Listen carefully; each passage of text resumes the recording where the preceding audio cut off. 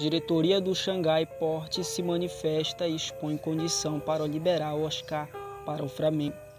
Meio-campista que tem contrato com o time chinês até o final de 2024 também está na mira do Corinthians e do Atlético Mineiro. Buscando conquistar o tricampeonato da Copa Libertadores da América, o Flamengo está ativo no mercado em busca de novos reforços para qualificar o elenco de Dorival Júnior.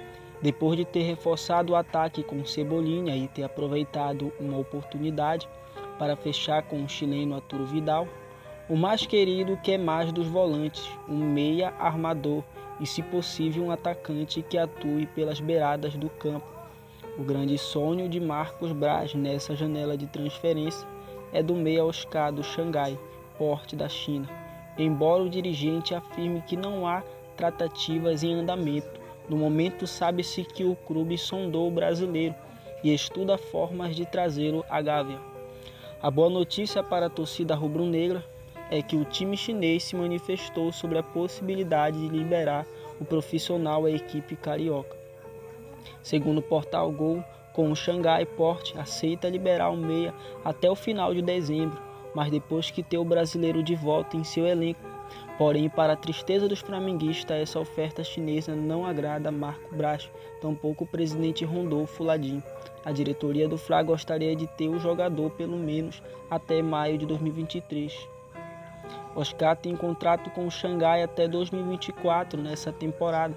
O jogador entrou em campo em apenas três oportunidades e tem um gol e uma assistência, mesmo sabendo desses números.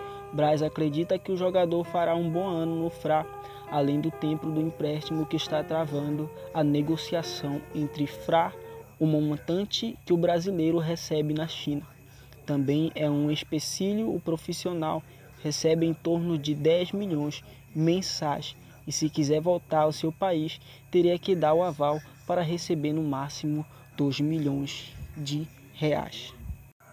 E além do Flamengo que tem conversas diárias com o jogador, seu empresário Giuliano Bertolucci ao clube chinês Corinthians e Atlético Mineiro também pensa em contar com o meia para a sequência da temporada.